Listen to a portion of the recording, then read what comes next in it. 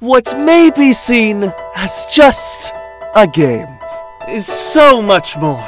Under the surface, countless stories reveal aspects of human nature that will forever remain untold. Here on Philosospiel, we will tell those stories.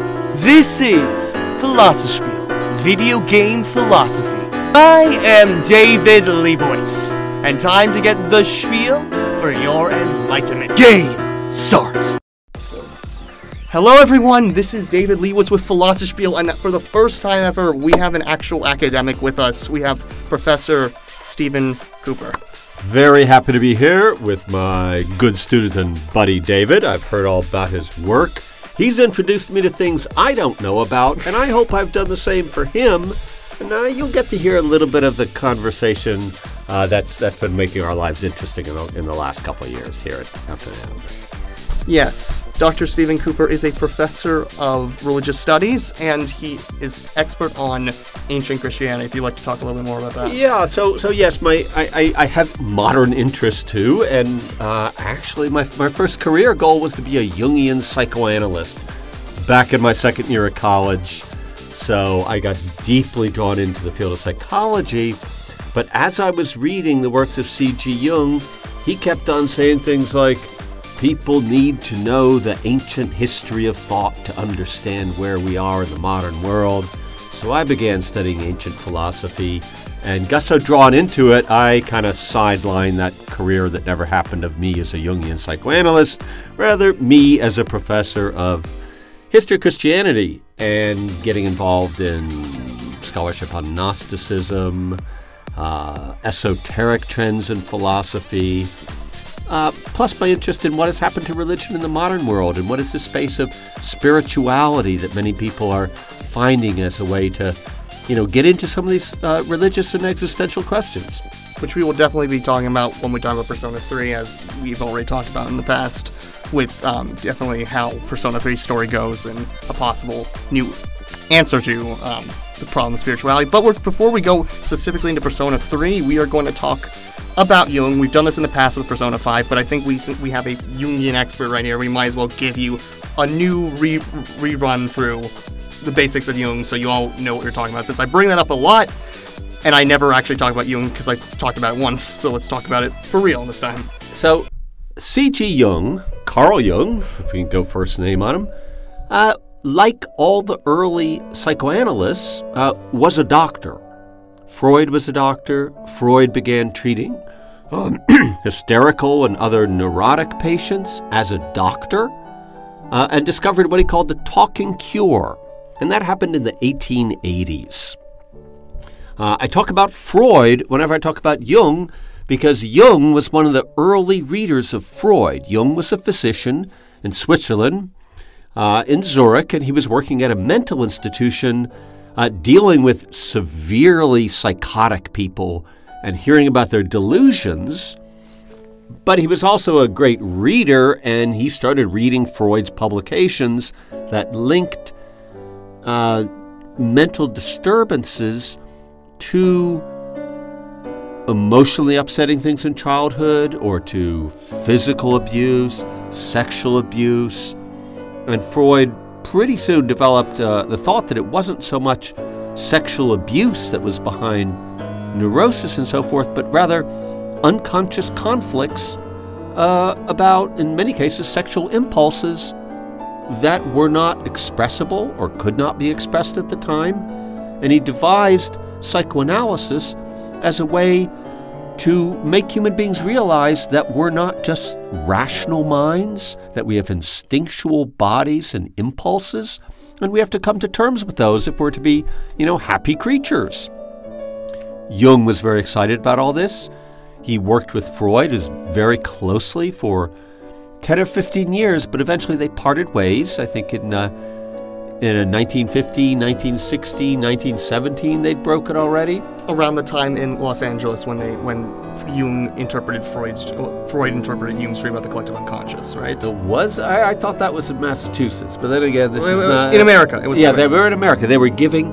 Uh, Freud was invited to Clark University in Worcester, Mass, uh, to to lecture to, to medical students, and Jung came along with them, and both these guys were very good at languages, so they spoke English. And they, they started to have some difficulties of disagreement. And this is where Jung started developing his own ideas, moving away from Freud's emphasis upon sexuality as a source of conflict. And Jung began developing uh, his own thought that what is repressed among Western peoples, he himself was the son of a, of a Swiss pastor, a Protestant pastor. But Jung could not follow in that religious way of his father, but he realized he still had what we call spiritual issues.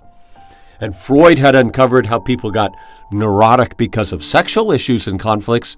Jung wanted to say, wait, sex is not the only natural impulse that relates us to other human beings and to our worlds, but we have other complex issues, issues of meaning in life, that in many cases don't come up to the second part of life.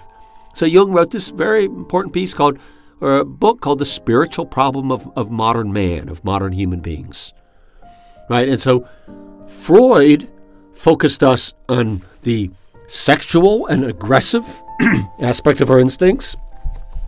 Jung basically said, that's not all. Human beings are very complex animals, and we have to deal with these aspects of the psyche or the mind that used to be taken up in religion and its symbols and practices. Now that a lot of Westerners are not tied to authoritative religions, they're kind of left to sort out these problems in the psyches on their own. And Jung developed uh, a body of clinical evidence with his patients that showed that they had to resolve certain kind of issues and in a way become themselves. Now this is important term individuation for Jung that we'll get into. On the way to becoming a full self, there's this process he called individuation. And it meant some things that Freud himself understood. Namely, you had to get separation from your parents. You had to believe you could be your own self and not be burdened with guilt. And that process Jung called individuation because it meant coming to terms not only with your conscious ideas about yourself, but with the unconscious levels of the personality. So, like Freud, he believed dreams were the royal road to the unconscious. In dreaming, another part of your mind speaks, and for Jung, when the dream speaks, it's attempting to correct something about the conscious attitude, right? To learn to listen to that other part of yourself that speaks confusingly and in symbols and obscure feelings. And we have to learn to interpret those messages. So, th- this for Jung is what the process of psychotherapy was to help people along dealing with the conflicts of life. Uh, for this reason, Jung had kind of a, a larger view than Freud in, in taking seriously conflicts about the meaning of life and purpose. Whereas Freud kind of had this model that with proper sexual satisfaction and successful work life and successful home life, you could be a happy person.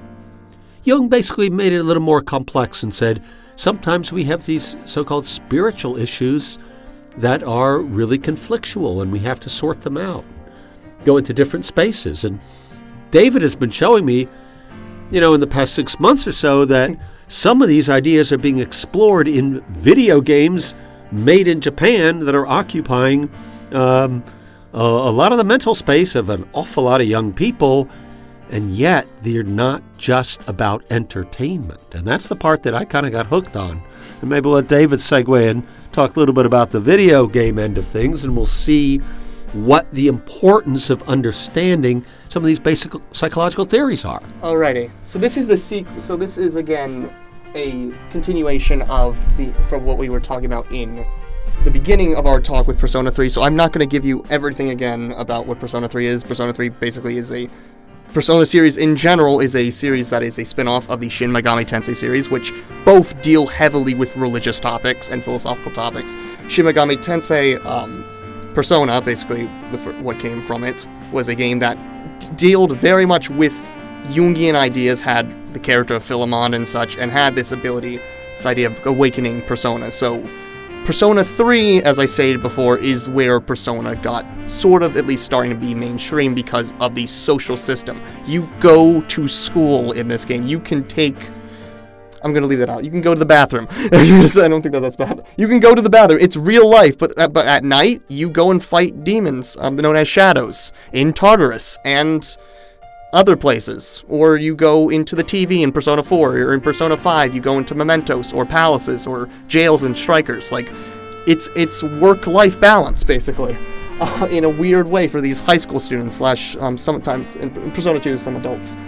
But basically, that's the Persona series, and because we have a Jungian analyst, Hayao Kawai, as we talked about in Persona 5, who, because of his Buddhism, took up these ideas of Jung, and now Jung is well spread throughout Asia. You can see it in BT, the, the song BT, um, Black Swan with BTS, a Korean K-pop group, where they talk about Jung. It's everywhere, and the Japanese are on the flip side of Jung's spiritual problem. They're sort of crying out for the West in a ways, which I think seen most in Persona 5, but we'll definitely talk about that. Um, so we'll go back to you. Yeah, so the, the part, part that caught my mind was hearing that there are video games using these Jungian technical terms like shadow, persona, um, also figures speaking to you from your mind Yes. and you having to encounter and deal with them is really talking about this process of, of integration that Jung calls individuation. Right? The basic idea of, of Jung's thought, like that of Freud, is only part of the mind is conscious. That's what uh, Freud called our ego. Uh, we don't want to call it self. We want to call it ego because the ego is the conscious part of the personality. There is other material there. Who is the person that dreams those dreams? Have you ever had a dream when you wake up with horror about what you just dreamt? Like, I don't, I don't have those desires. I don't really want to kill that person. And yet, you dreamed it. This is coming face to face with what Freud first noticed that sometimes we have very uh, uncomfortable impulses or ideas that we are not conscious of but reveal themselves only in their dream, in our dreams. So, where do we go from there? Do we try to block that out? Do we build a like a Berlin wall so that no more unacceptable unconscious ideas can break through? Jung would say no, Freud would say no. They say the way to healing is not to become those unconscious figures or listen to their voices and do what they say. Rather, it's to enter into relationship with all of these figures. I'll explain this by reference to the Jungian idea of the shadow. Let us say I try to be a very good and moral person. I was brought up by parents who told me never to say, shut up, or I hate you, or even to express myself aggressively and maybe hurt someone's feelings. In other words, I'm a really good guy. And I, and I don't want to strike out at anyone verbally, let alone physically. But what happens when I get mad? Do I not allow myself to express that anger? Do I not allow myself to feel any aggression? Well, Freud and Jung would say if I have such a narrow and tight ego structure that I don't permit any negative feelings in or any anger in, inside me will be building up a kind of monster of anger and resentment. Because, according to psychoanalytic theory, I actually do have those contrary feelings. But I'm not expressing them, so they're repressed. Jung gave a name to a sort of inner figure, an unconscious figure, that kind of bears all those impulses I won't let myself have. Right? So so if I'm I'm this good guy, never wants to say a harmful word, a hurtful word, represses aggression, even maybe represses sexuality too much so I could barely you know, in high school, reach out and touch a girl's hand or hold hands or whatever. Oh no, I wouldn't want to infringe on her person in any way because I know it's I've been taught not to be aggressive. Blah blah blah blah blah. Well, the problem there is that all of those uh, contrary feelings really are instinctual impulses. When I'm angry, I do want to express anger. When I have desire or attraction, I want to be able to act on it. Right? That's instinctual life. I need to be in touch with that stuff. But what if I'm such a repressor and never letting that stuff get through? All that material, that repressed material, that aggression, says Jung, crystallizes out in, into kind of an internal figure, almost like an evil double. Jung called that the shadow. And uh, one professor uh, I had in graduate school as a Jungian had the following exercise, kind of a visualization that you could walk through on your own. Sink into your mind, take a few deep breaths, slow inhales and exhales, and then allow to come to mind a person of the same sex that you feel violently negative toward. Right? Is there, does someone come to mind you just can't stand that guy? Like if you're a guy. Jung would say, that's the unconscious part of yourself that you're intent on denying. That's your shadow. Like, like if you have dreams where you've got some like evil characters, like same sex evil character running around and doing all these things you wouldn't do in your real life, that's the repressed part of you. No, it's not your quote, true self, but it is a part of the self. And, and Jung liked to talk about part selves, right? And urged that we need to integrate uh, our own consciousness with these unconscious aspects of ourself. Again, that doesn't mean doing their will, right? If, if you have a voice saying, go forth and kill, you know what? Don't. Rather, enter into a dialogue and don't be at the mercy of those forces telling you to do whatever, but see what they're about. Like they're, those voices within you are not you, but they're part of you, like an unintegrated, non conscious, probably childlike part of you that you need to enter into some kind of conversation with.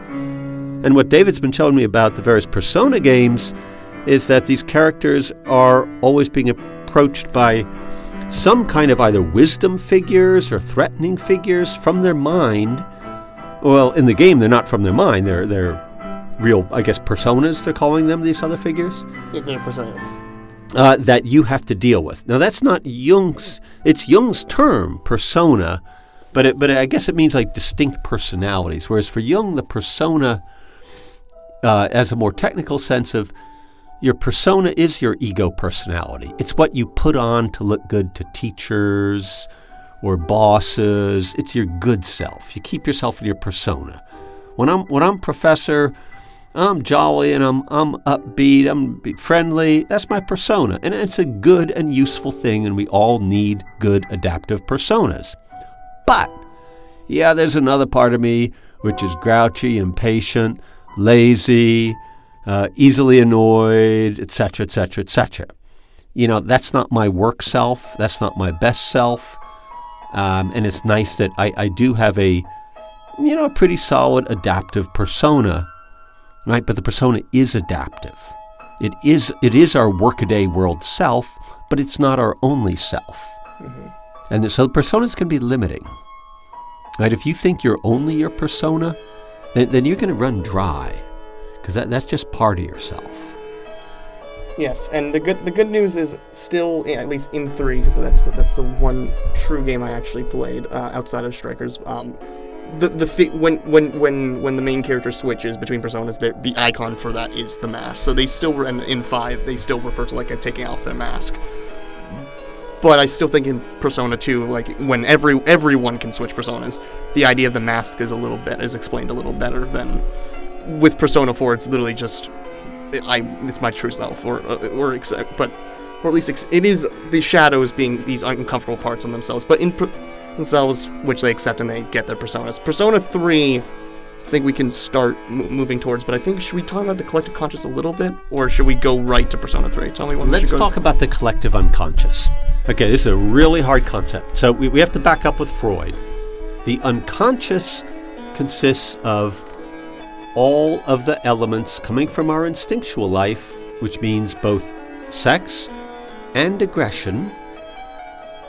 Right? That's all unconscious stuff that, uh, to some extent, we have to regulate to have a real social life. You know, I- I'd like to illustrate it with babies. If you get little brothers and sisters, you ever babysit, you know that little children bite. Right? A toddler will bite.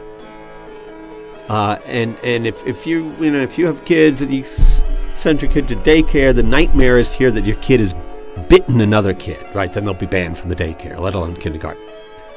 So we have to teach children no biting. In fact, I think all civilization depends on the commandment no biting. But biting is a natural impulse for, for an infant or a toddler. So they have to repress that biting, uh, which, which is good. It's, you, you, you can't go out in life biting. Still, uh, the impulse to bite remains. There are other impulses uh, to be selfish, to grab the biggest portion of food, to eat it before anyone can get to it.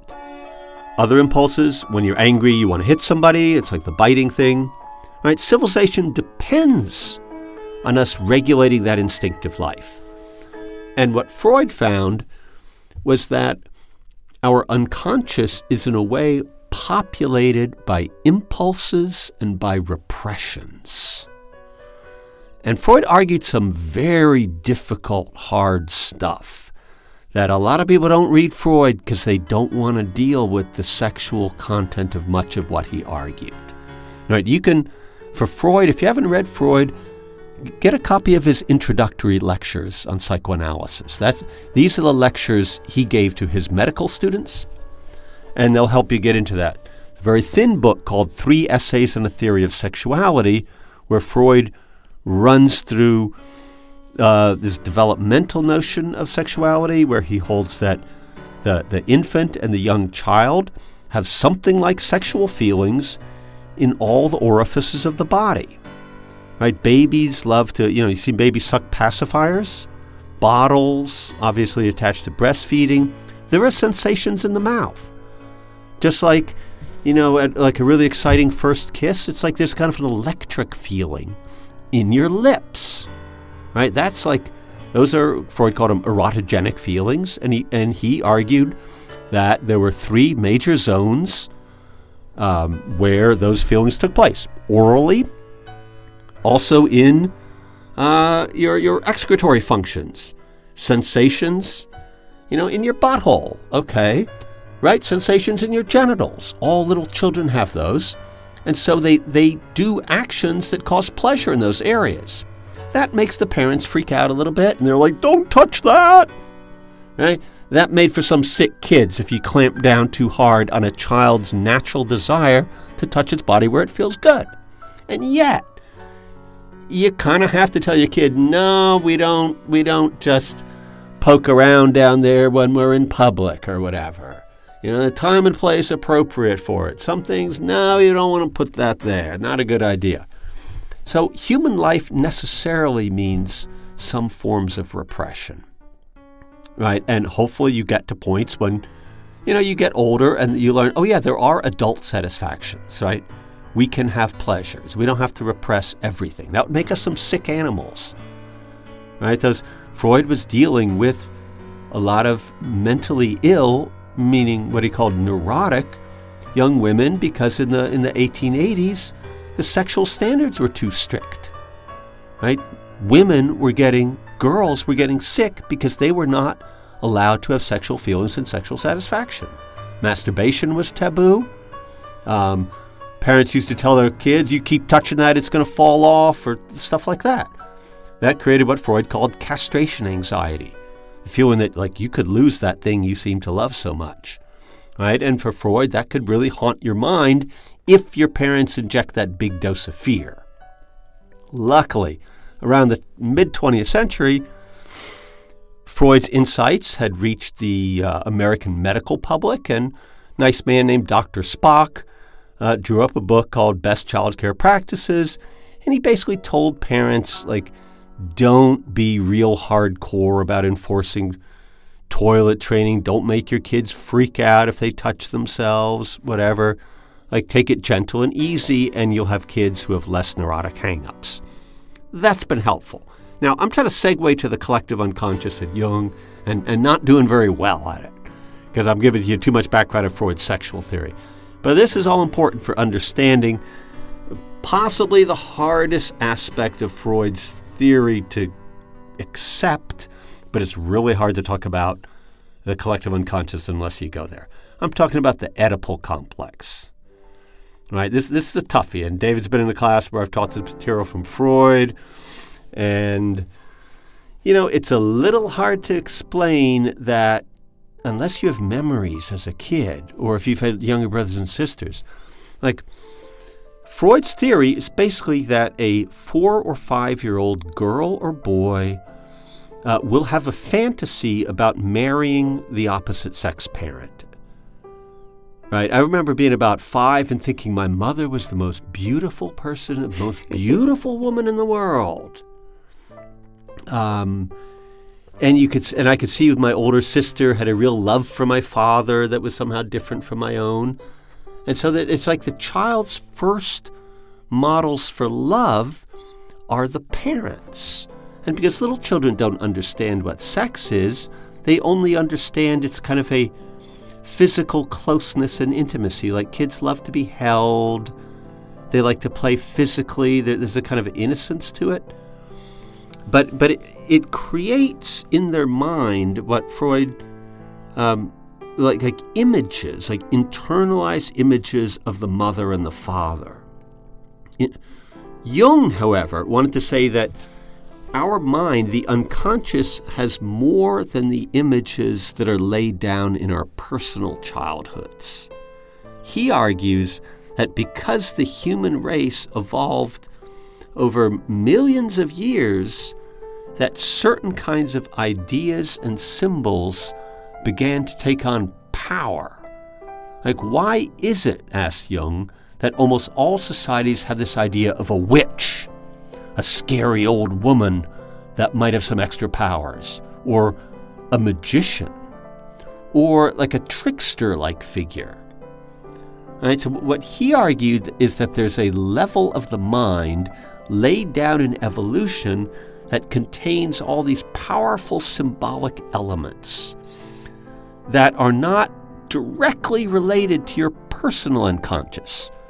Like it makes sense in a Freudian view that if I had a real strict father, I would have like this internalized image of a strict father who is judging me.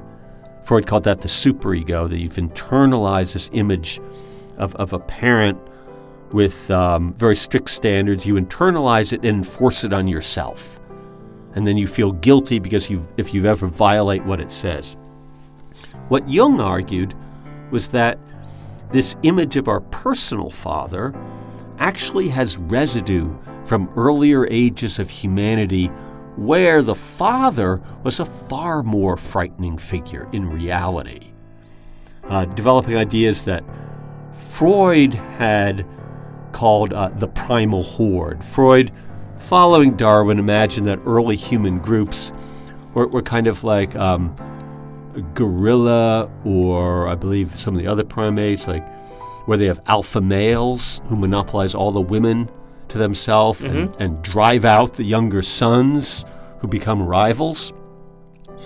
And for, for Jung, that meant that in our mind, superimposed over our own personal fathers, who might be real nice guys, is this more frightening image of a primal father, potentially dangerous, potentially castrating, right? That, that imbues our personal minds, personal images of the Father with this fear of, of the primal Father. And there are also other primal images. A primal mother, like the goddess type images one sees in, in early statues from the ancient Near East, because somewhere in our mind we equate mother with the, with the power of life that, that is both life giving and perhaps also devouring. Which we'll get to. Right, so there, there are like painfully ambivalent aspects even to good images, like protective father is the good image, threatening father is the bad image. Life giving mother, feeding mother is the good side, negative side, the devouring mother. Mm-hmm.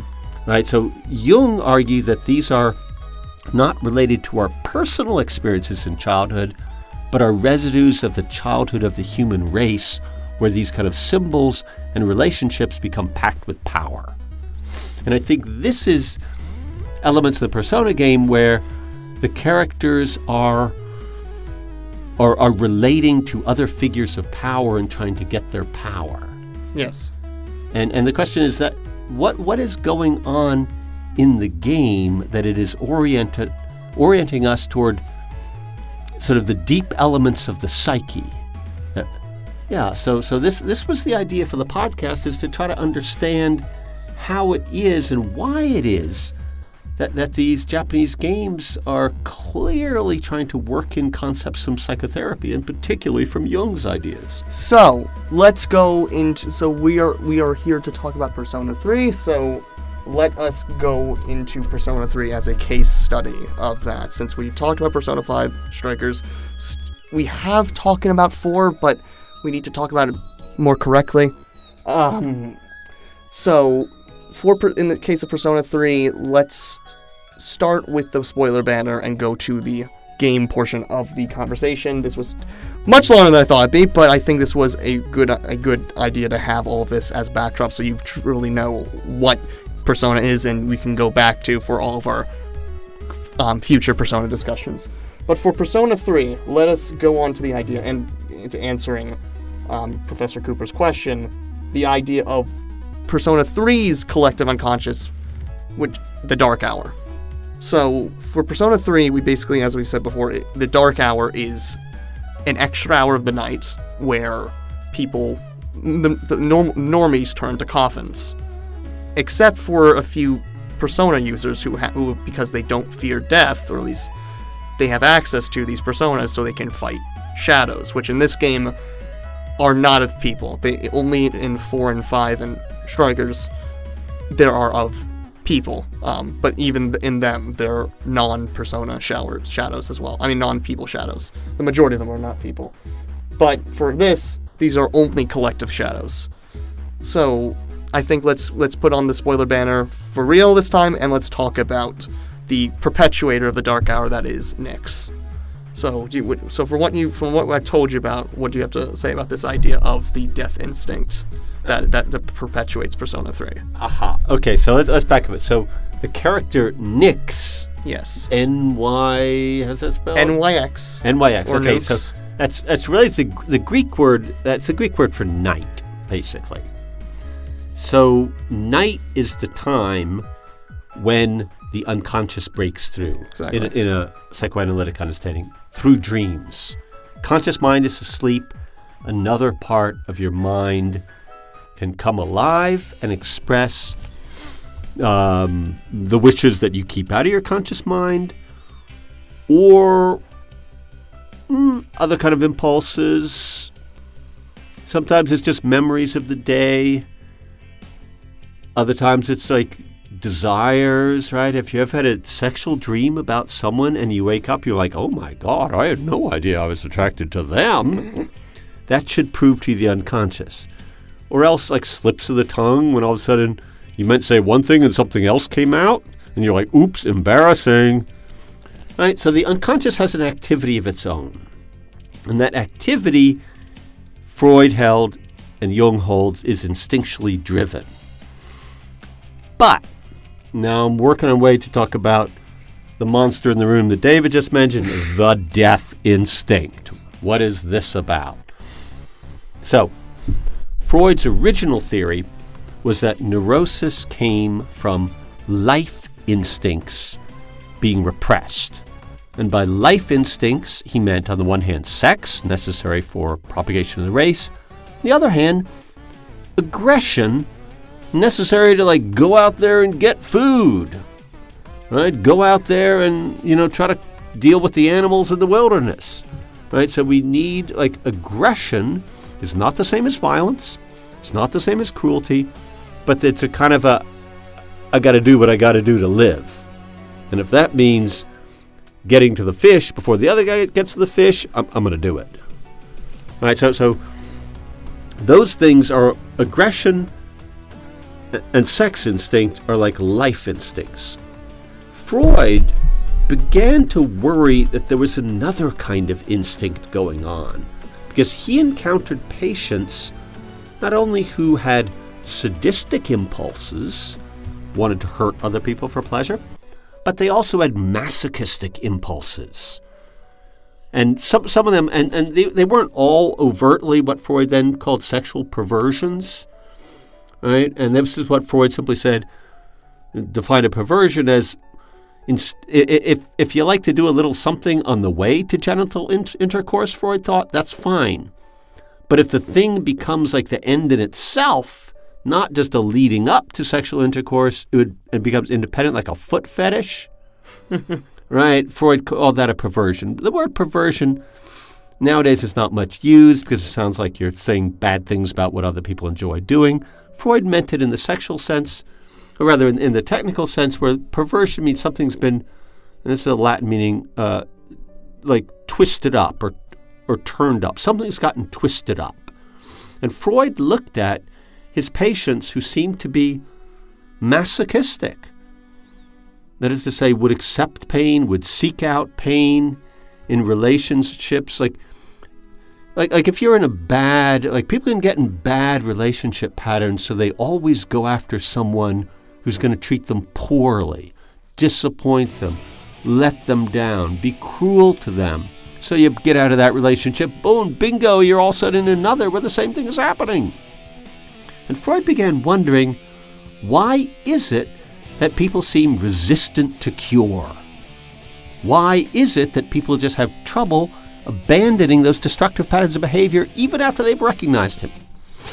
He began to wonder if, just as there is an instinct toward life in all living things, there might also be an opposite instinct something in us that wants to return to nothingness.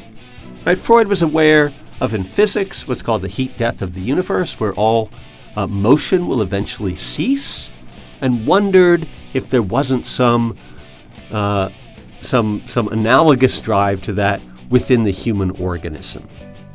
And it became a real sore point in Freud's psychoanalytic school because of a lot of the psychoanalysts in the teens and the 20s, 19 teens, 1920s, thought that these, what Freud was calling death instinct, was the result of sexual repressions in society. In other words, people are twisted up because their natural instincts have been repressed. One of Freud's early pupils, who also broke with him, uh, but later than Jung, not until like 19, uh, late 1920s, was Wilhelm Reich, who rejected Freud's idea of a death instinct and argued against Freud, saying, No, you're right, Freud. Human beings are destructive, but that's because they're living in twisted societies that won't let them be happy and healthy animals. And Freud insisted no, you know, there is something that is just human beings have this impulse toward destruction. So it, it's a real point of argument in the psychoanalytic, in the different psychological schools. I myself have gone back and forth in whether I believe in the death instinct. At this point, I do not. Uh, but then the burden is upon us to explain how society somehow turns people into sadistic and masochistic individuals despite a basic orientation toward life. So, that's so, and that is exactly what apathy syndrome is. So, uh, you are in, in Persona 3, you're introduced to apathy syndrome very early on with no explanation really what it is. But you, as you observe, you realize that these people are starting to turn into zombies. Not literal zombies, but they are basically like losing all the will to live and just all conscious functions. And you realize, and that is the result of the the dark hour, which is, and that is ultimately the cause of this science experiment, which we done by one of the main characters, a rich girl, Mitsuru Kirijo's grandfather, which I forget the name of the grandfather, but her grandfather that wanted people to all return to a maternal sense of death, to return to nothingness. So we're gonna under- try to see if Jung, because there's Jung, because there is no outside of one time, the p- Eros pleasure has is only really mentioned once, and that is when dealing with the lover's arcana shadow, who who who goes to Makoto or the female protagonist who who you're playing, and tells you that basically let's stay in the moment. Life is for now, all of that, and you fight it off to go defeat the lover's shadow. But outside of that, Thanatos has a much larger presence. Yeah, Thanatos is just a Greek word for death, the way Eros is a Greek word for life. And there's a real nice book by a Freudian uh, named Life Against Death. And if you're curious in this, just, just grab that book by Norman O. Brown, Life Against Death. It turned my head inside out in college. So yeah, Thanatos is uh, Makoto, uh, Makoto's second persona, which you after after Orpheus, um, Thanatos, Messiah, Orpheus, Telos, if you're playing FES or Portable, are um, you are not driven by the plot. They are unlocked at certain times in the plot, but you have to fuse them to themselves. Um, but yes, Thanatos being you realize you have Thanatos because you're harb you are you actually are harbingering the harbinger of death itself, who is pretty chill about that fact and, and, and actually tells you to kill him. And the form that, that Ryoji takes, um, as, I, as I talked about earlier, you can go in, in the other analysis, but that he takes is of the same, looks just like Thanatos. So, but the villain is Nyx, this motherly figure that that this motherly figure that turns everyone back to a state of nothingness. So Aha, she's a female. So that's kind of like an archetypal thing in that that the Mother Earth who receives all in many cultures is perceived as female, like the goddess Demeter Yes. in Greece. Um, uh, so it's sort of interesting that the female, the source of life, is is being depicted as also a source of death. You know, and may, maybe there's something uh, Jung would say archetypally true about that. That there's a negative and a positive aspect of, of the mother image. So let's talk about Jung's response. So for for Jung's from what I've read, I've um, an interesting thing that's going to um, align us with the whole with a very subtle part of this game that is the access to the figure of Messiah and how all and how all of this comes together to Jung's possible answer to why the death instinct is not at least not ever present in our society, why the heroes are able to stop everyone from having apathy syndrome, at least for now. And that is partially because, I would say, um, that's partially because of this idea of hope. The idea of bringing, of each of these characters, as I say before, awaken the, the, the will to keep on living. And Jung actually stated in this interesting turn in the game because you're you're trying to stop the Dark Hour, and there's these figure of three characters who are also persona users. They are known as the Strega, Italian or Greek for witch, um, that have been artificially given personas. And they are trying to stop you from stopping the Dark Hour because they want to live in the present moment because you actually know that they don't have as mu- much time to live, so they want to keep and live in the present moment, and they're stopping you from the Dark Hour. Once you stop the Dark Hour, you don't actually stop the Dark Hour, and and Nyx's arrival is, and you have actually caused Nyx to come and arrive, and now they want, you, now they're trying to stop you from ki- from defeating Nyx. Why this weird shakeup? It's very not causal, but according to Jung somewhere, I hope this is right because I couldn't find this in Memories, Dreams, Reflections, but according to one writer, Jung stated that wanting to kill yourself is the same thing as not wanting to die. Do you have anything to say Um, about it? yeah, it, it's that's kind of a peculiar saying, but I, I've- I've heard other people express this, other psychologists express this, that the desire to kill oneself is a sign that life as it is now is intolerable, and what you really want is a new life Yes. but the way appears blocked. Right? So for someone who is suicidal is in a kind of despairing state. They don't believe it can ever change. And if life means this much pain, well, perhaps it's time to say sayonara to life. You know, and just go and pass away. So what is therefore the so in in, pers- in I guess is is there anything in Jung that would point towards this collective death instinct? Uh, Well, I, I or don't. what would Jung respond I to the idea of a death instinct? yeah, I don't. I don't think Jung accepted Freud's idea of a death instinct. Yes. He, like Reich, believed the instincts were made for life, but when you get, for example, suicidal ideation, what it means is that your life instinct is being blocked. And so life is too painful, it's not worthwhile. Let's back off of suicide for a moment and talk about sort of common low level depression and, Exactly. and what therapists consider the signs of it. When you cease to have interest in pleasures you used to have interest, when, when your favorite foods aren't appetizing, occupations with friends aren't appetizing, your lust instincts aren't finding an object, and you just have no lust for life.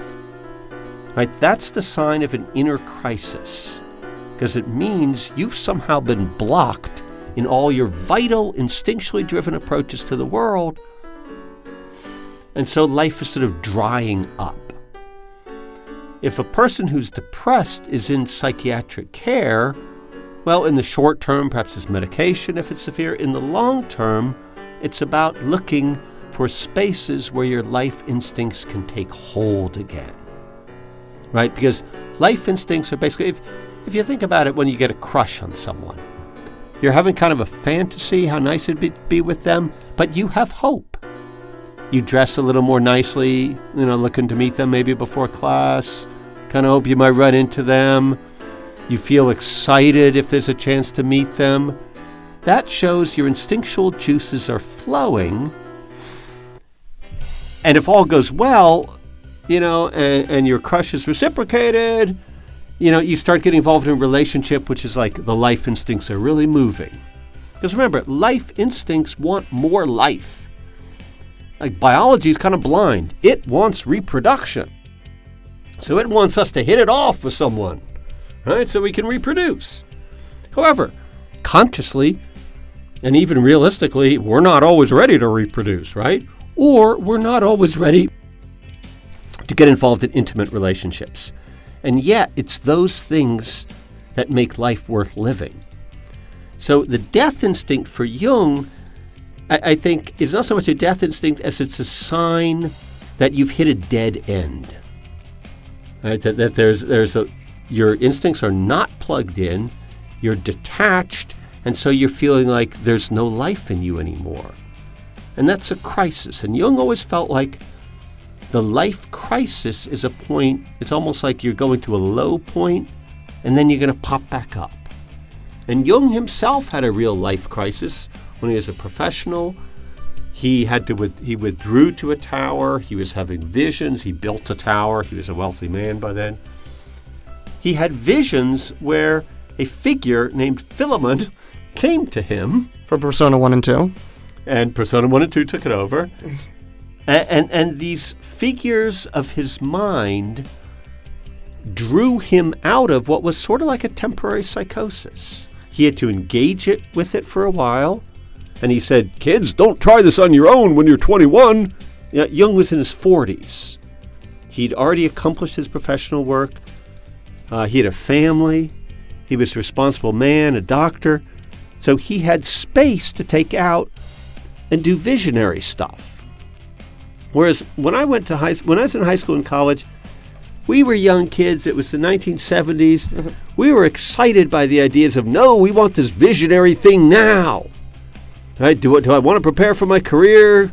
No, no, I want the visionary thing. Jung would say, hold your horses, buddies. It's not time for the visionary thing. You need to make get your instinctual life in the world that is work and love. And the visionary stuff comes later when you're in middle ages and you're having a middle age crisis. You know, that didn't appeal with me when I was young. I'm like, I'm having a, I'm having a crisis now. So I guess I guess in ge- in general, if maybe I could put this in, but the fact that the majority of these games concern high school students. Hmm, yeah. What do you have any comments on that? And them Okay. already going through these. Th- that's right. That's right. And that's because our society has made youth last much longer. In many traditional societies, you're an adult by 14 or 15 or 16. If you're a Viking, you know, you'll probably have killed your first man by 14. Right? Uh, Because those are worlds where there's not so much life expectancy, life is not as complex, you don't have to go to college, right? So you become an adult earlier. We have prolonged childhoods. Face it, how many of us really liked living at home with your parents when you're 16 or 17?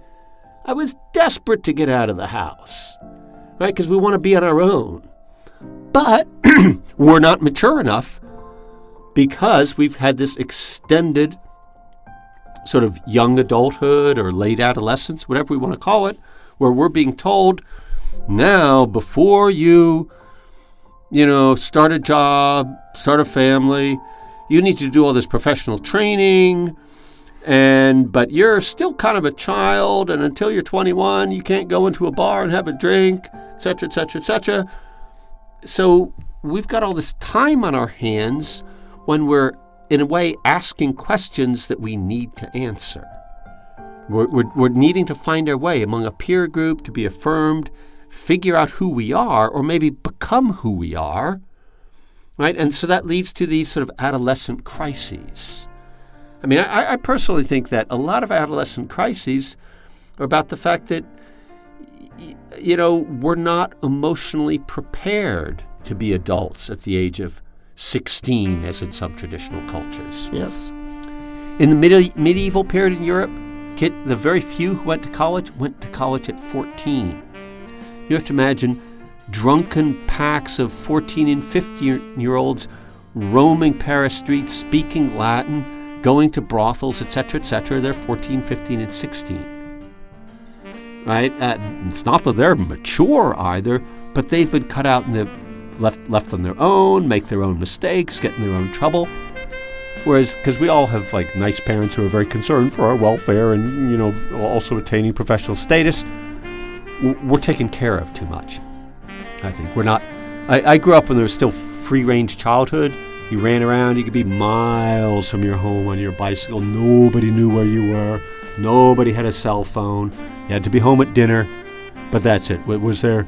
Were you packed into wall to wall soccer games and this or that and this or that with your parents driving you places? No, you were roaming on your own, sometimes getting into trouble, but sort of getting a sense, independent sense of yourself as being alone instead of primarily doing all these things your parents have lined up for you so you'll get into a good college and then do well in college and then get into the professions and make six figures or more, or whatever.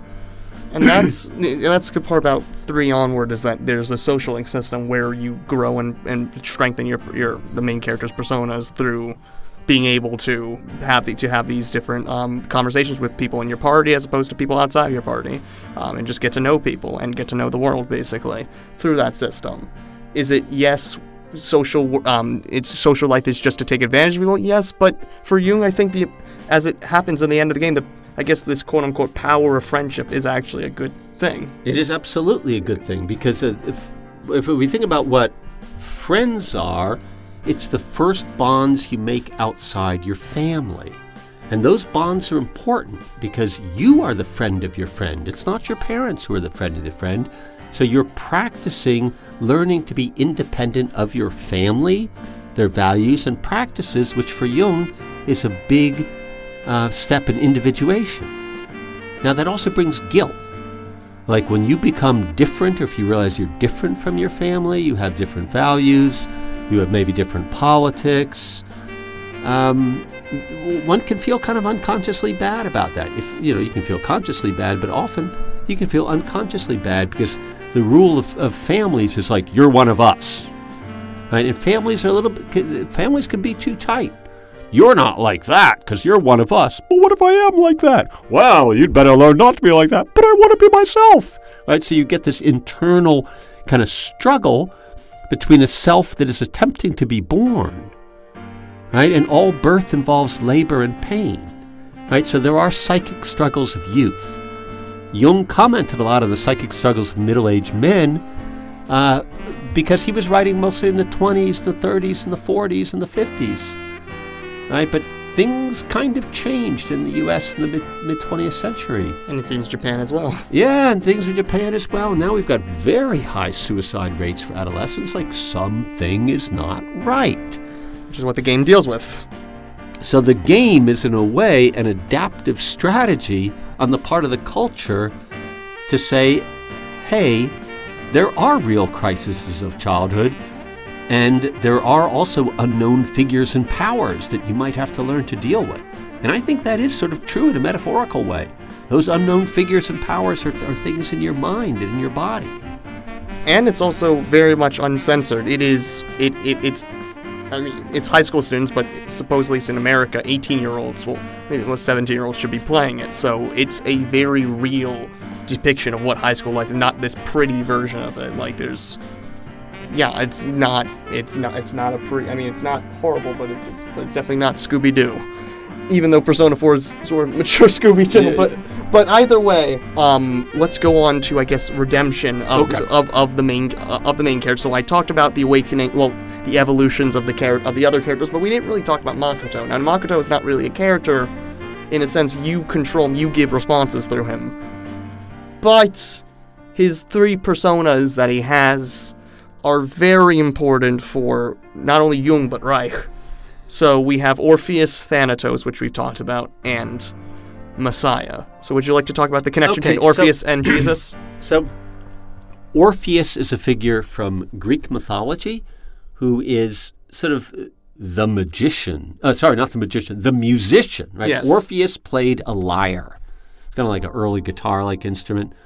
Um, and I think the, the myth is that he, he, he could charm people with the lyre and he tried to get somebody out of Hades, the Greek His wife, underworld. his That's girlfriend, right. Eurydice, I believe. Yeah, Eurydice. That's right. She went down to the underworld. He tried to get her back by by charming all the guards of the underworld with the music, but I forget what happened. Then he got stuck in the underworld. I believe he gets stuck in the underworld. Yeah. So now one of the peculiar things. So let's let's move over in, in the in the Christian uh, mythological setup where where Christ is crucified. And the traditional doctrine is that he descended to the dead. You even say that in the creeds of the Catholic Church and so forth. Uh, he descended to the dead. and the third day, he rose again in accordance with the scriptures, etc., etc. So Christ went to the underworld. Now, what does this underworld mean when we demythologize it? That is, when we, we take it out of that narrative story like context. The underworld is the realm of the unconscious, mm-hmm. where the dead past is, but the dead past is not quite dead, it's living. So the trip to the underworld in various mythological depictions is kind of like going back to a deeper level of reality that you have to go into in order to gain new life. And in the psychoanalytic process or in Jungian therapy, the ego must explore the unconscious to come in relationship with those hidden figures and powers. Right? So both Orpheus and Christ are figures that, for the sake of life, they have to descend to the dead. Uh, Jung wrote a very obscure sermon as a young man. He called it like Seven Sermons to the Dead. Or septem, um, septem sermones ad mortos. Yes, Septem Sermones ad mort- Mortuos. That is to say, seven sermons to the dead. Because he got deeply involved in uh, some kind of mystical, Gnostic, Hermetic texts that showed people kind of contact contacting and being contacted by unknown figures and their lives being enriched by them. So should we should we also talk about the significance of, Her- of Hermes and Hermetics as well? Well, okay, so so this so Hermes is the Greek god who carries messages. He's got like he's depicted with wings uh, on his on his sandals, and he's like the messenger from Zeus, and he can go to the underworld. All right. so Hermes is like the part of the psyche that can travel to different layers, and so it's sort of useful to have a Hermes friend to keep you in touch with this the many layers of being human. Now, there are also some texts from uh, Egypt uh, written in Greek at the time when, when you know Egypt had been conquered by Alexander the Great, and all their intellectuals are writing in Greek. And this is some great literature. You can find it online. It's called the Hermetica. And and I'll mention, and Jung was very into this stuff because one of the famous Hermetic treatises begins with a character like meditating and all of a sudden a figure appears to him in his mind uh, and says, you know, he says, I am. I am Poimain, meaning the shepherd. I am Poimain. What would you like to hear or do? So you get this thing of like invisible figures popping out and offering to be helpful to you in your quest, whatever that is. And I guess that's where the video games pick up on uh, the importance of these kind of almost like guiding figures, sort of spirit guides or what have you. Yeah, these personas. So, exactly. And and then what about the significance? So that's Junpei's persona, Hermes, and with his evolution, Trismegistos. Oh, okay. So so Herm- Trismegistos is a Greek word that means thrice great, three times great, and that was just what we find in these ancient Hermes texts. They refer to Hermes as the god of memory and of writing, and they call him like three times great Hermes. You know, just as kind of a ridiculous term of praise like Your Royal Highness or Your Imperial Majesty. Thrice great Hermes will help you. you know, it's, it's just a way of sort of magnifying the importance of this whatever god guide figure that can take you places where you need to go. And then what about the significance of should we sh- and about well, should we talk about the Dionysian Jesus? Um, well, okay, so this this is getting a little more complicated because there is this god Dionysus, who's a god of, of wine and drunkenness and unconsciousness, who's kind of a dangerous figure, but yet he's also a source of life. So so the the what Jung imagined, Jung like Freud believed that if we were cut off from our instincts, we sort of dried up and that the mind needs to be in touch with uh, you know you know the, the things that draw us into life. And and Jung would say you know why is it that this is something I never understood. People like to get drunk to the point of semi unconsciousness like, like I don't quite get that. I mean I like to have fun too but I like to be conscious. Uh, drunk sex is often not very good if you're very drunk. You don't remember it and you're clumsy. But yet, there seems to be this impulse to almost like blot out consciousness. And th- this is sort of, you know, and, and there are there are experiences that don't go so far as blotting out consciousness, but they blot out individual consciousness, such as dancing in a group, um, ecstatic dance, like trance type phenomena. You're kind of getting out of that talking voice in your head and you're just being like feeling and being submerged in the group. And if you're dancing, that's all well and fine. Uh, so long as you don't undertake some group actions where where you're you know in a group you're not the same person.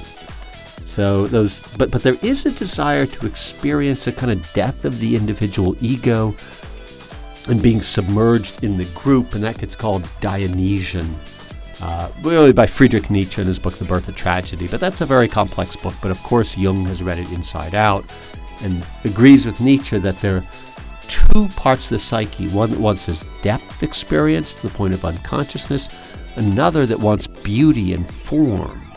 And that life kind of goes back and forth between these impulses, this desire for this Dionysian uh, you know, like, why do people go to raves, right? What, what, what, are you trying to do? You're losing that normal, everyday consciousness to dip in the deep well of the life giving ocean of the mind. You know what? But you don't want to be torn apart by that life giving uh, ocean or drown in it. You have to emerge as as an individual ego, hopefully enriched by that encounter. Right? Not turning into Dionysus, but being enriched by these instinctual powers and able to live as what Jung would call an individuated self. So that's a good place to go to the, the method of individuation and then the idea. I'd like to maybe get to Ataman Modan, but if we can, um, we can how how the how I guess this all comes together to the idea of accepting death, but not ha- of not having it so much that you want to kill yourself and release yourself from life. How the role of the evoker of putting the gun to the head to awaken what they call these personas. Okay, so so okay, so this is uh, the place of death in consciousness is sort of interesting. Uh, because uh, uh, Freud says that when you're young, you don't really believe in your own death. Um, and, and unless when you're young you've encountered death, I think that's probably true. This is why uh, it's mostly young men who will engage in very risky behavior driving crazy fast, driving drunk, you know, hanging from rooftops, daring each other to do all sorts of stuff because you don't really believe in your own death. When you do, if you've ever experienced someone else's death, whether in your family, a close friend, like a, maybe a, a almost fatal car accident, you're all of a sudden confronted with the reality that life really does mean death. If anyone's read the Epic of Gilgamesh, Exactly. right, you'll understand what it's about. Epic of Gilgamesh is about two powerful heroes and best friends. Nothing can beat them. They kill monsters, they build mighty walls to protect the city. Everything's great until one of them dies because of the action of the gods. And then Gilgamesh, who's this great king, all of a sudden life turns meaningless. Like nothing is any worth anything to him anymore since his friend Enkidu has died. So he has to go on a quest to the end of the earth uh, to find uh, the realm of the gods and say, Why can we humans have eternal life? I can't stand having to die. Well, in the end, he discovers, Nope, you do have to die, but life is still meaningful in the time we have here. Look at the wall, he says at the end of the text. Look at this great city I've built. It's got everything it needs for the people. And the sense is, even if Gil- Gilgamesh dies, like the city will live on and it will have had purpose. So it's a way of finding meaning in life w- without having to be God, because you can't. God means being deathless. That's, that's in all traditions. The gods and deathlessness go together, humans and mortality go together. So, I guess then, what is? Do you think we should get to the spiritual problem before we try to fully answer the question of, of, of Jung's response to? Let's let's get to the I, spiritual I think problem. the spiritual problem will help us understand.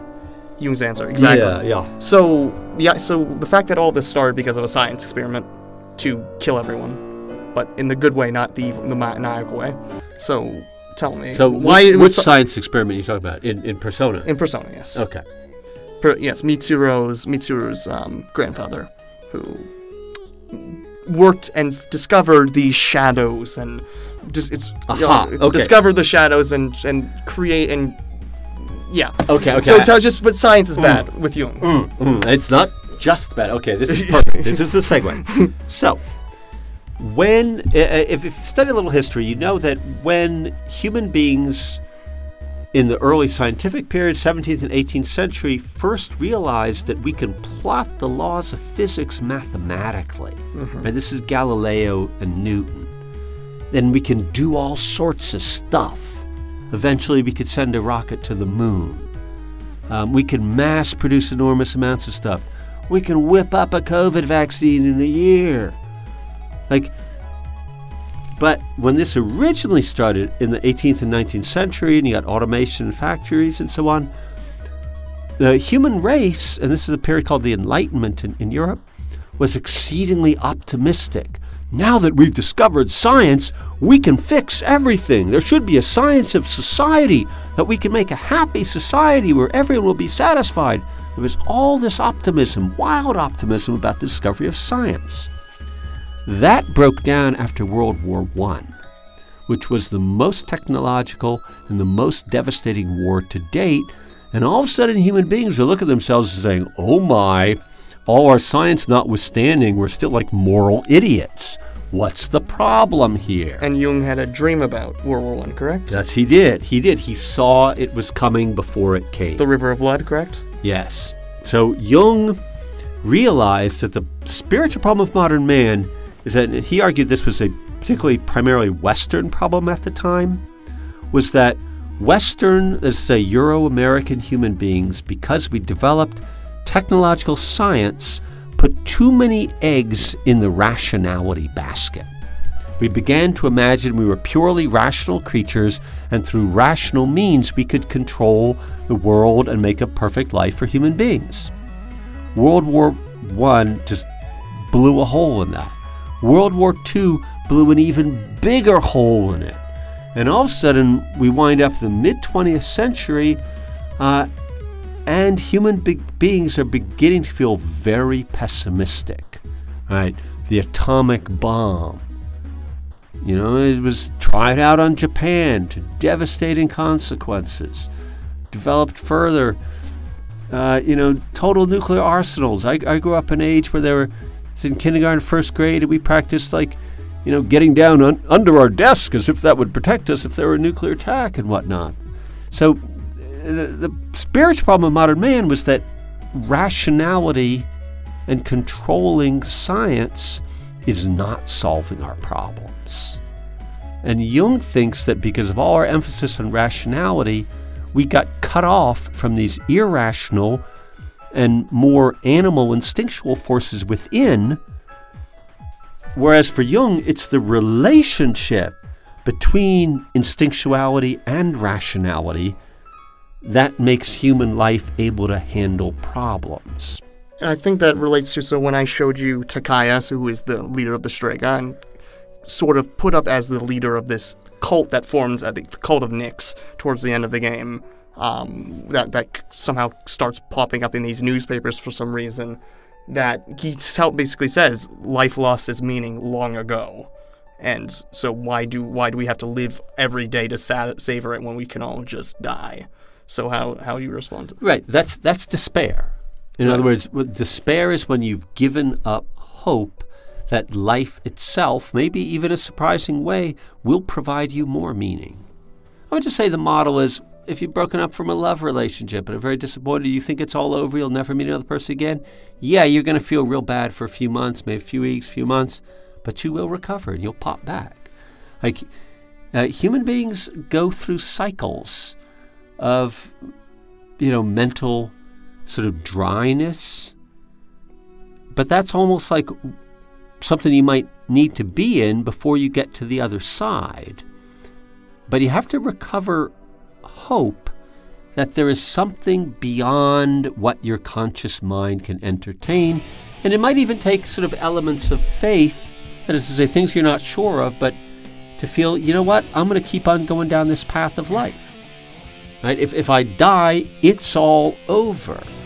So would you say, in, in a sense, w- with them being told, with the, the, the main characters, the par- party being told that there's no way to stop Nyx in any way, and and yet they keep on going after they find in their their their their, their wills to to fight on to, to keep on fighting? Would you say that's just an allegory for life in general? Yes, I would, because if Nyx means death, yes, we will all get there sometime. We don't know when, we don't know how. The real issue is how do you live in that in between? When I was in college, existentialism was very big. And, and I mean the philosophy of Heidegger or Sartre that took death to be like a very basic feature of human life. In fact, Heidegger said that all of life was what he called being toward death. Right? That it's out there in front of us, but we can't let it paralyze us.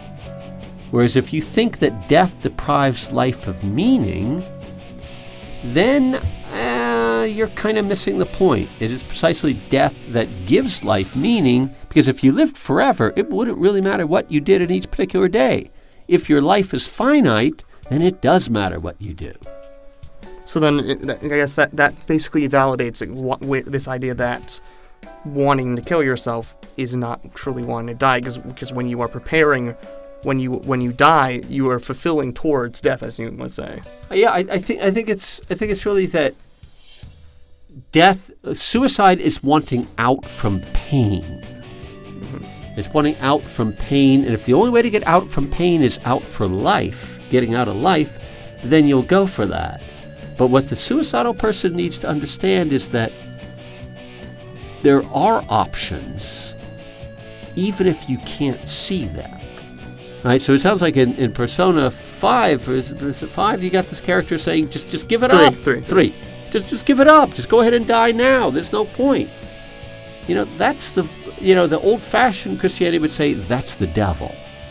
Uh, the psychoanalytic model would say that is a destructive voice from the mind, and it is not you, and you are not it, and you have to kick back against it. Just in the same way as if you heard a crazy voice in your head saying, you know, jump out the window, you would kick back against that, or a crazy voice in your head saying, go out and kill so and so, you'd be like, no. Right, because you are not the voices in your head. They are part of you. You are engaged in relationship with them, but you have to hold your own position. And your position is one of life that is enduring, that can take some pain and suffering, and yet come out on the other side. If, if we just think about what people go through wars or are refugees or horrifying plane accidents where to live you have to cannibalize the bodies of the dead people, and yet you do because you want to live. The will to live is powerful, strong, but it is possible to get disconnected from it. And do you think there's any significance that Takaya's persona is hypnos? Well, hypnos is means sleep in Greek, and s- in sleep we are given a break from pain. Exactly. And it is also the moment where life forces can come up in the mind. And you'll be in a dream having having some great sexual affair, and you'll wake up, you'll be, oh dag, I wish that were true. Well, guess what? Time to go out and make it true. All right. So, do you think then we we're starting to get towards an answer of how that Persona Three is not affirming you uh, affirming Freud, but actually at least synth? Would you say it's a synthesis, or would you say it's a rebuttal of Freud? Of, of Uh, Freud? okay, so, you know, because I haven't looked at all these things in detail, From what you would from have. what, what, we, yeah. what- what I would say is it is an affirmation of the psychodynamic model of personality. Mm-hmm. Maybe it, okay, it's more Freud, it's more Jung than Freud.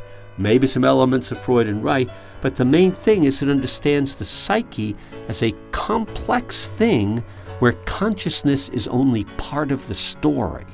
And that for consciousness to be really alive, it has to be able to have conversation with, dealings with, uh, some kind of intercourse with these other lively figures of the mind.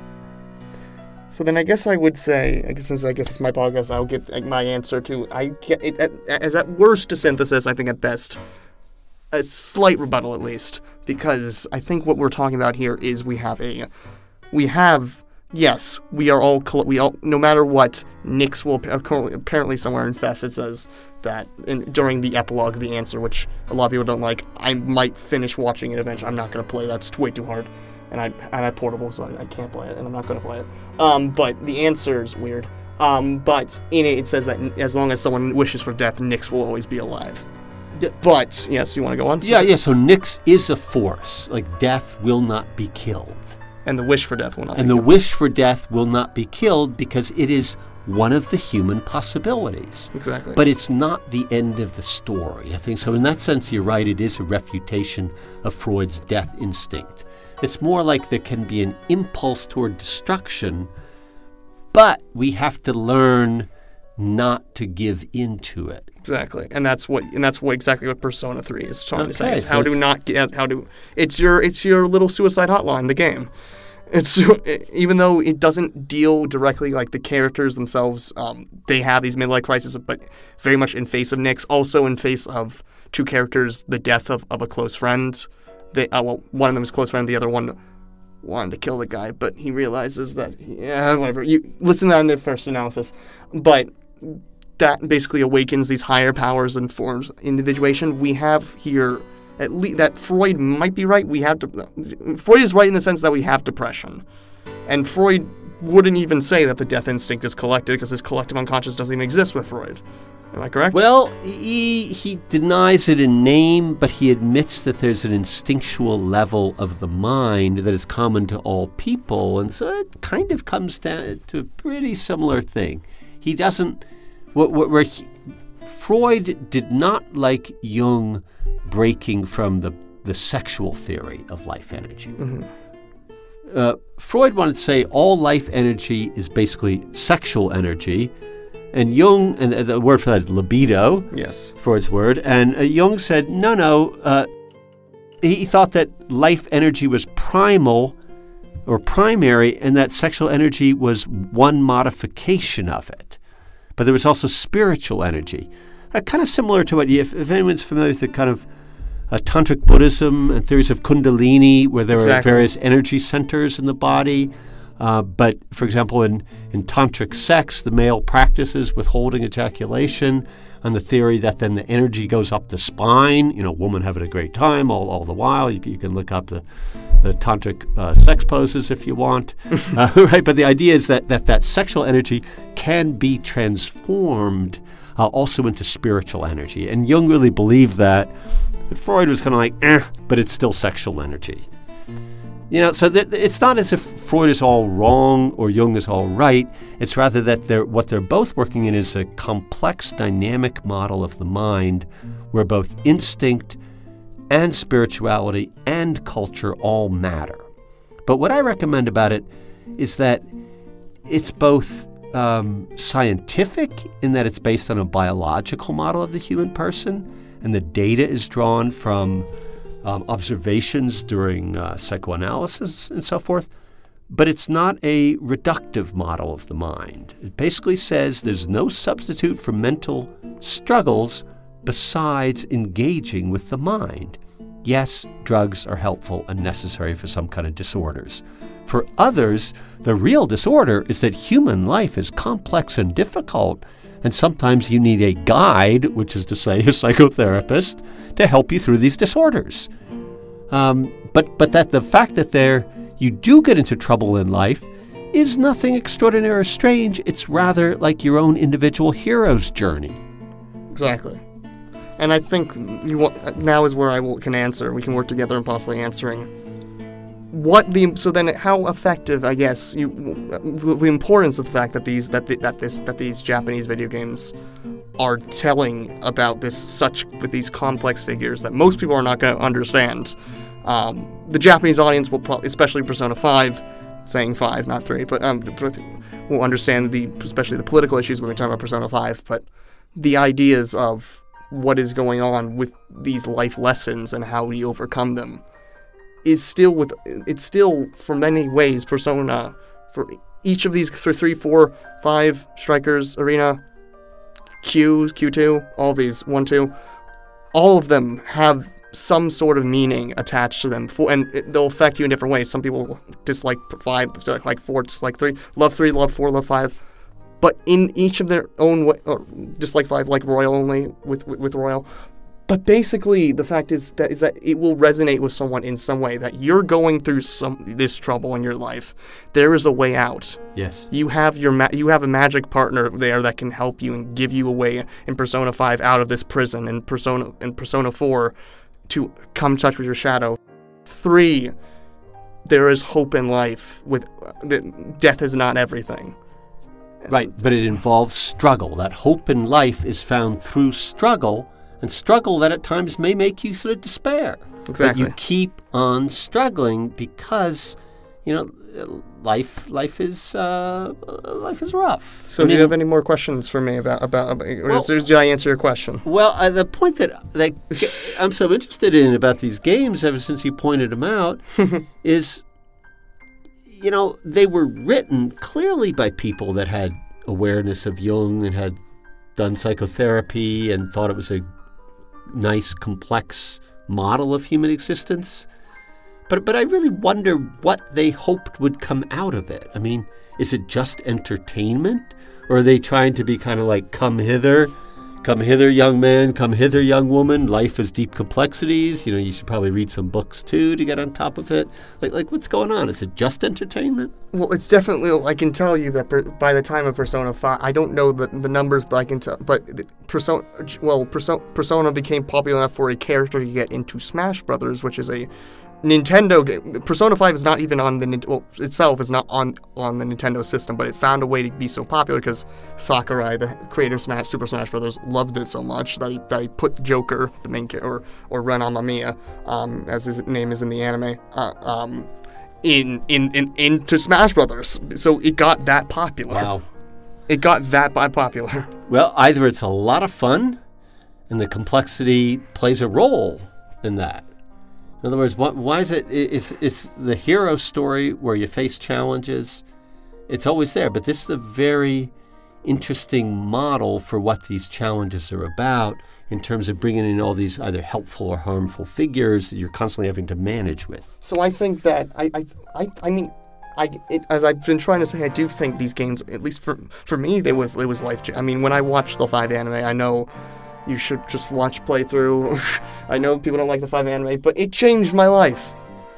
Wow. Professor Cooper here Yes, changed my he- life. He's a changed man. I met him. once. I'm a What- what- changed man. You introduced me to Jung, and then three years later, I'm like, fine, I'll, I'll, Yeah. I'll, I'll read his autobiography.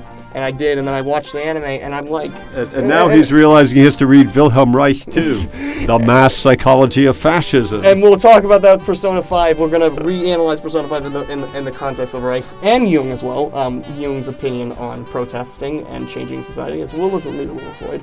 Um, but the fact is, is that these games, at least, they had an impact on me. Um, so, and I think they had an impact on a lot of people. And the fact is that you have these large concert halls with people freaking shouting in Japan that they're freaking loving this way. That that freaking culture is, that culture is is as shown in Persona 5 very like in a jail.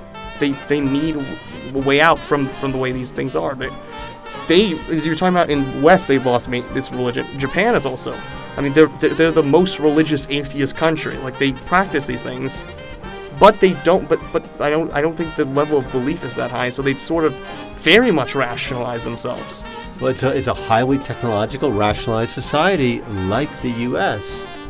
Uh, but but I, I, I think the key is is how do we get out of the game and pl- also play, also play the game of life more effectively because of the game. Exactly. I mean, people always say like sports builds character. So the sense is you learn some stuff on the field and you take it off the field. I'm, I'm kind of hopeful that, that these complex, sophisticated video games with the with the narrative plots, complex understandings of evil, are actually almost like models to how you deal with life. That's what I. I mean, that's what I hope. That's I. I, I hope that, that that these games are, are not just entertaining, but they actually are life changing in a way. Because these stories are definitely fabulous, and the fact is, I just got into this because of you and because of because of my interest in Jung. So, I think that I, I think these. I think that, and not only these are not the only games that that do Jung. They just the the most integrative of the use of Jung. And the fact, and they are, yeah, Yeah, I'd say if you're curious about Jung, read Man and His Symbols or his autobiography, Memories, Dreams, Reflections. that's a really good place to Yeah. start. Because where that's where I started. If you're interested in Freud, start with the introductory lectures. Great, great read, and he's an amusing writer. He has a these guys have a sense of humor. Definitely. And I, I guess any final thoughts? Um, Well, I just want to thank you, David, for, for bringing me to this studio and introducing me to the world of Persona. Sure, I introduced you to Freud and Jung and these other guys, but, but you got me into seeing that the stuff is not only in the books, uh, but is, has made it into pop culture in a way that, uh, that is very serious. very serious. and, and gets a lot of people going and hopefully they'll go beyond the game and get into ideas and realize that all these challenges and monsters and allies and friends right, are, are out in the world where we're kind of playing for keeps Yeah, and we this is not the end of the Persona 3 analysis. We will d- to get to a to a talk of the levels of Tartarus and terror management theory and see and and a talk of either if it's with someone or not about about Japanese suicide rates and depression, which I think Alright. so and we got a lot more Persona to come. Persona 4 will come eventually. It's um, Persona 2 eventually as well. So I want to thank you, Professor Cooper, very much. You you, you, you really changed my life, and I'm so and you gave me the will to keep on going. So david it's a pleasure to have students like you i'll tell you what without good students my life would be real boring so i thank you all right, this has been Philosospiel Video Game Philosophy. Adieu for now. ciao